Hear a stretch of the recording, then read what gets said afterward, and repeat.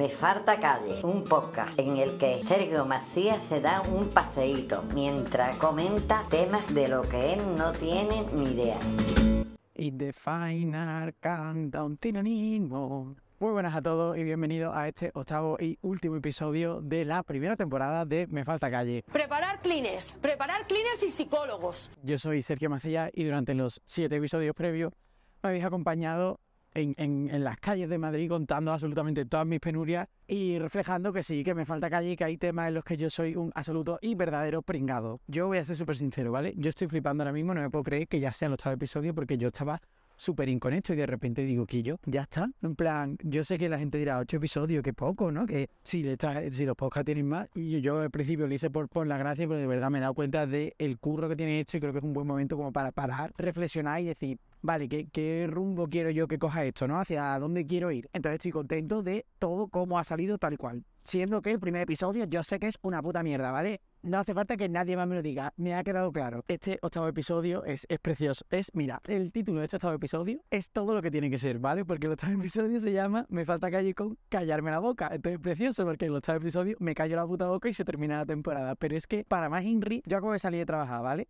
Y todos mis compañeros han ido de caña, no sé qué, yo he dicho, no, me tengo que ir a grabar el episodio de Me Falta Calle porque este fin de semana me quiero ir a las fallas, entonces, pues tú sabes, ¿no? Tengo que dejarlo todo listo antes, no me da tiempo a hacerlo durante el fin de como otro fin de, tengo que organizarme, chicos, venga. Y mi amiga y compañera Raquel me dice, mira, mira, mira, mira lo que me he comprado, que esto es un producto que te lo echas en los labios y te crecen un montón. Y yo que no me puedo estar quieto digo, a ver, lo quiero probar. Y me he echado eso en los labios, que yo, se me ha quedado la boca como un cincé.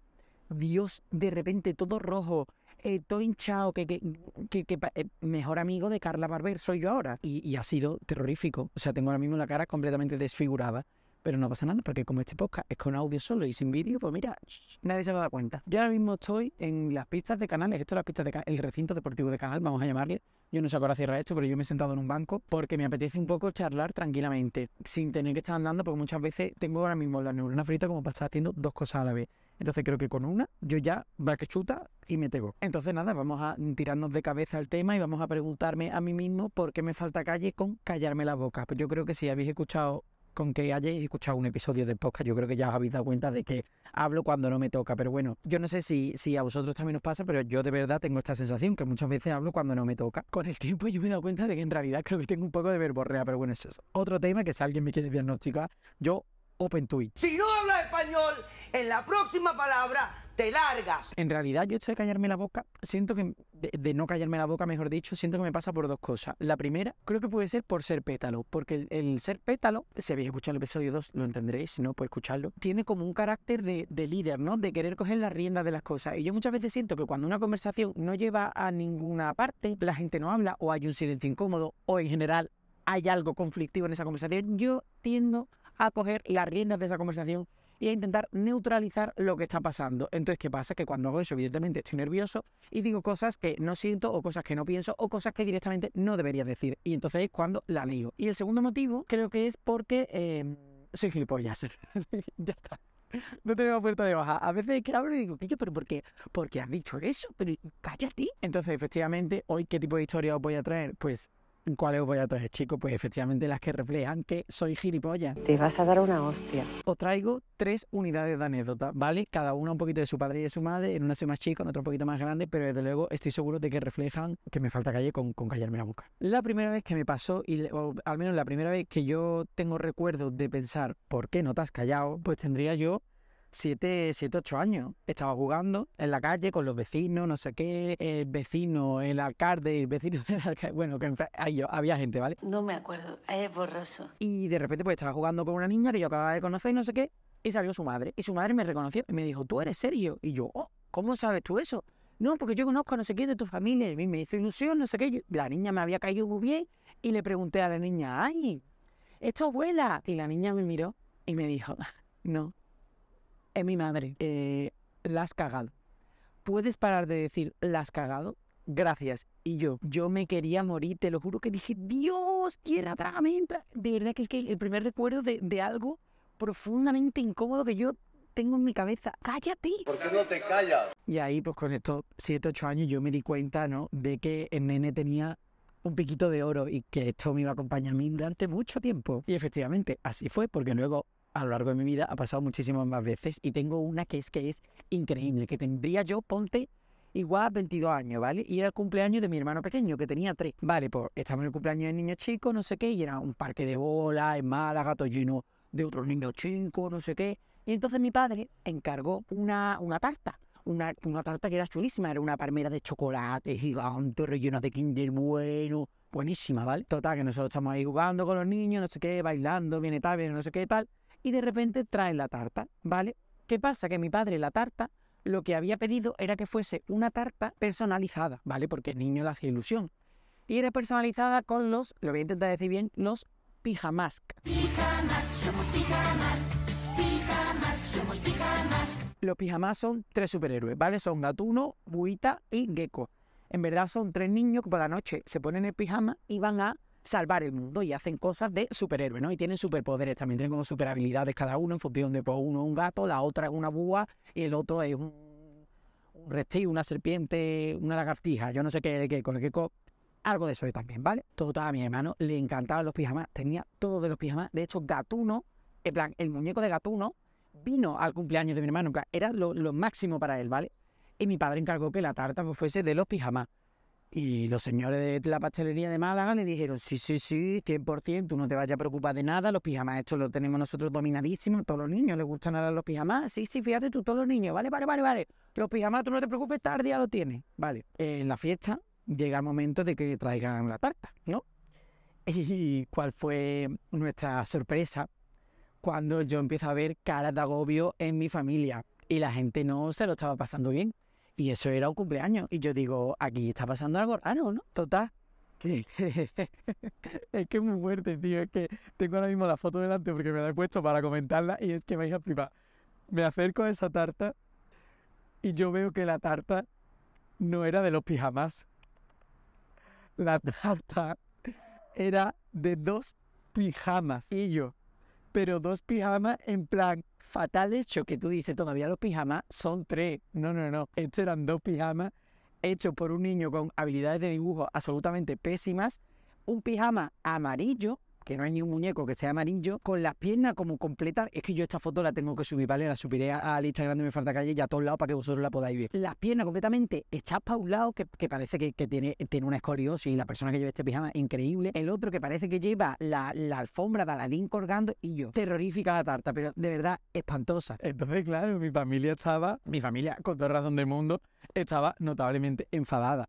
Hay que ver que el niño se nos va a traumatizar, que nosotros queríamos una tarta en los pijamas y esto es una tarta de dos pijamas, por favor, ¿cómo ha podido pasar esto? Mira cómo lo dijimos, no sé qué.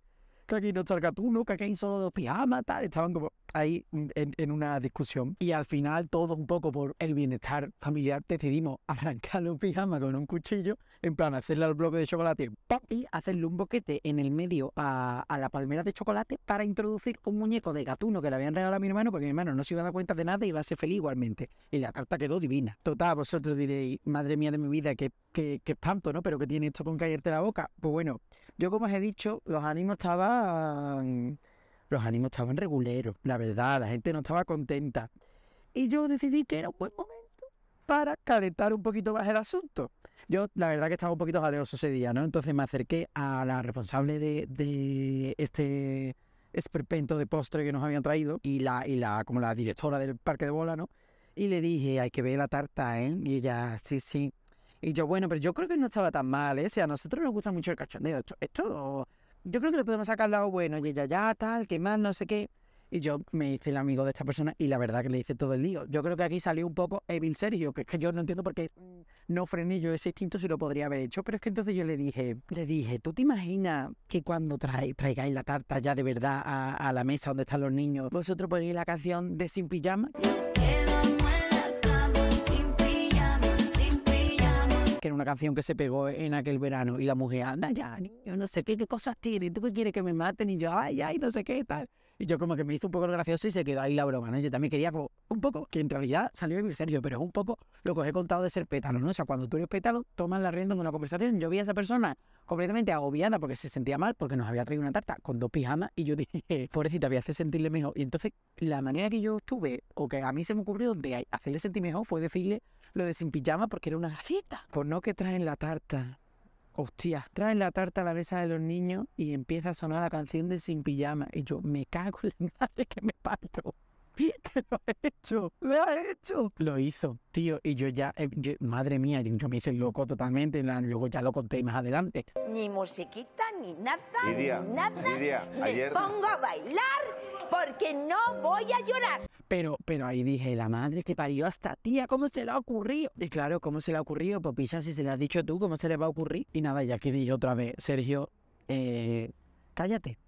Te- ¿Por qué no te callas? Pero bueno, diréis, Sergio, ya ahí podrías haber aprendido la lección. No, quería aprender, yo no iba a aprender, si esto me pasa a mí todos los días de mi vida. Y dentro de todos los días de mi vida hay una que es súper reciente, literalmente de hace unos meses, y ya prometo que es la última, ¿vale? Y es eh, el, cierre perfecto para, este episodio. Viene mi amigo Del Pino a vernos a nosotros a Madrid, ¿vale? Un beso a Del Pino, Del Pino te quiero, mi rey. Y yo invito a unos amigos a casa a hacer unas copitas y lo que surja, ¿no? Plan, vamos a salir esta noche a ver qué tal, ¿vale? Pues queríamos salir unos pocos y dentro de esos, éramos, en las copas éramos bastante, pero la gente se empezó a rajar. Y de repente nos quedamos del Pino, tres amigas chicas, que es importante recalcar también que eran chicas, y yo. Total, que decimos, venga, pillamos un Uber, nos vamos por ahí, no sé qué, vale. Y de repente, y queríamos entrar a una discoteca. Y la discoteca estaba carísima, había subido el precio como un montón y nosotros aquí no vamos a entrar ni de coña así, porque no teníamos tantas ganas de salir, en verdad. Era como, vamos a tomar una copa más y ya está. Total, que em- empezamos a buscar otro sitio. Buscamos otro sitio, ¿qué pasa? Que estaba todo caro, era una zona en la que pues no conocíamos más sitios fue como un poco, fus, nos estamos apalancando. Pero Del Pino y yo estábamos animados porque Del Pino había venido a Madrid, no sé qué, y queríamos hacer algo. Total, en este contexto un poco de bajona, viene un RPP y nos dice, oye, 10 euritos una copa. Y decimos, ah, pues ya está perfecto, la promoción que estábamos esperando. Y le- bueno, la promoción que estábamos esperando no lo sabíamos porque le preguntamos, ¿la música qué tal? ¿La música cómo es? Y nos dice, nada, nada, comercial, hay de todo. Pues dijimos, bueno, venga, venga, nos vale, venga. Total, del pillo súper convencido y las niñas dicen que no, que ya están súper apalancadas, que se van a su puta casa y que ya no, que no tenían ganas de tomarse nada más porque ya se habían embajonado.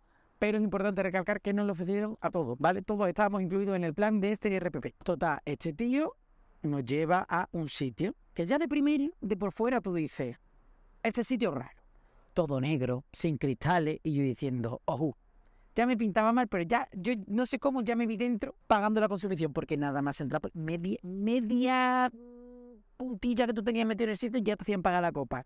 Total, nosotros pagamos la copa y tal cual damos un paso, digo, uh, raro. Raro porque todos los sofás eran muy rojos y yo, esto está ambientado, o- esto está ambientado raro. Pero bueno, la gente no, eh, la gente lucía un poco yo, pero digo, si nos vamos a tomar una copa y nos vamos a ir, da igual. Nos vamos a la barra, dispuestos, porque ya teníamos el ticket de la copa de 10 euros. Venga, vamos a pedir. Estamos en la barra y tal cual llegamos a la barra para pedir, notamos como a cada uno de los dos nos coge una tía por detrás y nos dice, hola mi amor, pero nos coge una tía por detrás. mm, No te vayas a creer tú que me agarró el hombro, no, no, me agarró entero. Entonces yo hago así, es que ojalá me pudieseis ver ahora mismo. Miro para un lado a la tía, miro al suelo completamente choqueado, miro para el otro lado Del Pino que veo que está haciendo exactamente lo mismo que yo y decimos los dos, esto no es lo que estábamos buscando. Total, yo creo que las personas captaron la indirecta de, eh, bueno, a estos chicos, eh, em- efectivamente todos os podéis imaginar lo que nosotros estábamos pensando en ese momento cuando viene una tía, cada uno de los dos nos coge por detrás, ¿no? Creo que mm, es posible que cualquiera se imaginase esto. Y claro, estábamos como ahí un poco diciendo, ¿dónde estamos? Y empezamos a hablar del Pino y yo, pero como muy en clave, ¿eh? sin decir tampoco nada. Y entonces de repente la camarera nos escucha, se acerca y con una hostia de cojones nos dice, os he escuchado, ¿eh? Os he escuchado. Que sí, que, que, que esto no es un bar de copas. Esto es un bar de putas. No puedo creer que es verdad. Pero con una, con una... ¡Pah! Que lo dijo la tía y yo, wow. Y claro, en ese momento en el que yo estoy teniendo una situación complicada y yo intento un poco hacer el ambiente más distendido dentro de que estoy en, en un, en un bar de putas, que yo no me iría a un bar de putas en mi vida, la, la miro y le digo, no, no, no, no, no, no, no pasa nada, está, está, está guay. Como diciendo, en plan, chill, vale. Y me dice la tía, ah, está guay, está guay, vas a invitar una copa a las chicas. Y yo, no, no, no, hombre, tam- tampoco hay, hay que pasarse. Yo me quería ir de ahí. Pero era en plan, y yo, yo no, yo no quiero venir a este sitio, no hago nada en este sitio, no me gusta en este sitio, pero quiero como que no haya ningún tipo de conflicto con esta persona. Bueno, pues la mujer se picó con mi respuesta, en la que yo evidentemente me tenía que haber callado y tendría que haber dicho otra cosa o haber dejado hablar a Del Pino Y nos dice, mira, ¿sabéis qué? Que estamos cerrando ya. Que me está cerrando ya, si está sonando aquí chuta chunda y está todo el mundo ahí haciendo sus cosas. Y dice, no, no, estamos cerrando ya, eh, os voy a sacar la copita en vaso de plástico para que vosotros vayáis, ¿vale? Un momento rarísimo, súper tenso, mirándonos los dos rato, y cogemos la copa en vaso de plástico, venga, adiós. Y nos vamos como un momento a una esquinita en plan a, a diseñar el plan de salida, porque es que de verdad que yo en algún momento me pensé, alguien nos va a pegar o nos va a hacer algo, porque también te digo, ¿no? En plan, vamos a pensar una cosa, había un RPP que nos cogió a todos con nuestras amigas incluidas para ir a ese sitio. ¿Qué se pensaba que íbamos a hacer? En plan, ¿es tonto? Es que no, no, yo no me, no me explico. Yo me sentí como súper estafado. Digo, ¿qué, qué, qué, estoy haciendo aquí? ¿Qué, ¿De qué me han visto a mi cara? ¿De qué me han visto a mi cara? Total, el Pino y yo estamos en la esquina diseñando nuestro plan de salida y me dice el Pino, esta copa no nos la vamos a tomar. Y yo, como que no me voy a tomar la copa con lo que me ha costado conseguir la copa. Porque yo digo, si tenemos vasos de plástico, no la sacamos fuera y hacemos un botellón de toda la vida, ¿no? Y me dice, ¿tú has visto si nos han echado esta copa? ¿Tú has visto cómo nos han echado esta copa? Y yo, no, no lo he visto, no nos la ha echado la persona que estaba hablando con nosotros, nos la ha echado otra persona. Dice, ya, ¿y tú con este ambiente tan turbio, no te parece que fácilmente a los dos chavales que han traído aquí completamente engañados, que evidentemente no quieren hacer nada con nadie, ¿tú no ves alguna posibilidad de que nos hayan drogado? Y yo, wow, wow, me han drogado. ¿Que me drogaron? Sí. Total, que decimos, mira, vamos a llevarnos la copa en la mano y vamos a salir de este bar sea como sea. Salimos del bar sea como sea, adiós, adiós, una mirada tensa, cabeza hacia abajo, salimos fuera, dejamos la copita en un contenedor de basura, por si alguien se quería drogar libremente, y dijimos, nos vamos de aquí. Pedimos un Uber, bueno, pedimos un Uber, nos senta pedimos un Uber y estuvimos sentados como no sé cuánto tiempo en un portal mirando hacia abajo diciendo, ¿qué acaba de pasar? Todo está... Es que todo esto, claro, yo lo cuento como largo, pero esto pasó literalmente en cinco minutos. Y nosotros estábamos tipo... Y yo, qué barbaridad. Encima un portal que estaba enfrente de una gente que estaba teniendo una boda, total, una cosa rarísima, pero bueno, llega el conductor del Uber y decimos, ya está, vámonos de aquí para no volver y nos montamos en ese Uber. La tensión se me acaba porque nosotros necesitábamos comentar esto, ¿no? Y yo, es que es muy fuerte lo que acaba de pasar. Entonces dijimos, necesitamos una opinión externa de alguien de fuera. Bueno, ese conductor de Uber, que al principio estaba como un poco... No era mítico conductor que tú dices le gusta charlar, sino que era más de te pongo la música que tú quieras y ve callado que no me apetece hablar contigo un viernes o un sábado, no me acuerdo, a las eh, no sé cuántas de la mañana. Bueno, ese señor se volcó con la historia, estaba living y yo normal, hijo, no va a estar living si está aquí con las dos personas más pringadas de todo Madrid. Entonces, bueno, mira, yo qué queréis que os diga. Yo creo que uno tiene que saber dónde está su sitio. Y el mío, personalmente, está haciendo el ridículo. También te digo, aunque yo tenga un poco de verborrea y yo hable cuando no me toca, ¿no? En verdad, piénsalo. ¿Qué sería del mundo sin la gente que habla cuando no le toca? Sería un sitio muchísimo más aburrido si en realidad los mayores conflictos, las mayores disputas han surgido por esta cosa. Pero bueno, como conclusión, pues mira, yo qué quiere que te diga. Yo siempre pensaré que es mejor hablar de más que hablar de menos. Igual esto también es porque soy pétalo, pero yo es lo que pienso. Y bueno chicos, pues ha llegado el momento de callarme la boca de verdad y cerrar no solo mi boca, sino también esta temporada. Eh, muchísimas gracias, de verdad, muchísimas gracias por haberme acompañado en este viaje, en estos ocho episodios. Eh, ha sido súper bonito, súper especial y estoy muy, muy contento con, con, lo que se ha convertido Me Falta Calle. Para mí ha supuesto un reto, sobre todo a nivel horario y a nivel tiempo, y de verdad estoy muy feliz. Tú ya, si quieres escucharme hacer tonto, te puedes quedar. Si quieres escucharme como cosa con la que me falta calle, ya aquí creo que queda poco porque ya me voy a explayar un poco que eh, este es mi libro y yo he venido a hablar de él, ¿no? En el episodio 1, que es un poco terrorífico. Yo os comenté que el, síndrome del niño 10, que es un concepto que me inventé, retrasó muchísimo el lanzamiento del podcast, ¿no? Entonces, más allá de lo que he aprendido y lo que ha supuesto esto, pues haberme retado a mí mismo y, haber retado a ese niño 10 a hacer cosas, salgan bien o salgan mal, o salgan regular, pues para mí ha supuesto un gran crecimiento. Entonces, eso también me pone súper contento. Dicho esto, ¿qué pasa ahora? ¿no? Se termina la primera temporada y ¿qué? Pues mira, os voy a decir la verdad. No tengo ni puta idea. O sea, evidentemente es una cosa con la que yo quiero seguir, pero como he dicho, siento que es un buen momento para reflexionar y pensar cómo debería seguir con esto, eh, qué cambios tengo que hacer, qué cosas tengo que mantener y ver un poco hacia dónde me lleva. Entonces, pues ya veremos. Chill. ¿Cuándo? Pues tampoco lo sé. O sea, si esperaba algún tipo de respuesta hacia esto, es que literalmente no lo sé. Siento que he ido un poco como pisándome los talones a mí mismo con los tiempos de esto y que ahora llega el momento de decir, vale, ¿qué quiero hacer de verdad? No os preocupéis porque a mí me sigue faltando calle y hay literalmente muchísimos temas que tengo como de backup que realmente no metí en esta temporada porque tenía ocho que me gustaban mucho. Pero habría muchísimos más, o sea, hay pringado para el rato. Así que nada, ha sido un ratito súper chulo porque como que normalmente los episodios lo he grabado siempre de día para hacerme fotos. Es que no me he hecho ni una foto, la verdad. Pero bueno, mira, ya está. ¿Qué le vamos a hacer? Sí, el último. Ya, como diría mi madre, metido en laberinto da igual blanco que tinto. Entonces voy a, a, lo que iba, ¿no? Que el resto de episodios lo he grabado siendo de día. Y me he hecho fotos, he hecho vídeos, no sé qué. Y este lo he grabado de noche. O sea, en realidad estaba atardeciendo, pero ahora mismo sí que es de noche. Entonces estoy sentado en un banco hablando solo, mirando a la luz de la luna, despidiendo un programa. Es que esto luce videoclip de Ale Subago. Me muero por conocerte, saber qué es lo que piensas. O sea, no se me ocurre un final más melodramático para este podcast. Es que literalmente esto es lo que yo soy, me encanta. Eh, cierra fenomenal. Muy bien, antes de irme voy a hacer un, un... Es un poco como el momento en el que se cierran las luces de Gran Hermano, lo que yo voy a hacer ahora, ¿eh? Pero voy a pegar la última pegatina. Oh, qué bonito. A ver, me gustaría como ir a un sitio dentro de que no hay puta luz, un sitio que tenga un poco más de luz. Vamos a darnos un paseíto, a ver, a ver a dónde llego. Mira, acabo de salirme fuera de las pistas y la voy a pegar en una pedazo de farola ¡Ay, que me la cargo, estúpido! Vamos a hacerle la fotito pertinente. Antes de irme, quiero recordaros que Me Falta Calle tiene unas maravillosas redes sociales en las que podéis seguir a este podcast, que aunque el podcast haya terminado su primera temporada, yo voy a seguir por allí diciendo cosas y dando guerra. Entonces, las recuerdo.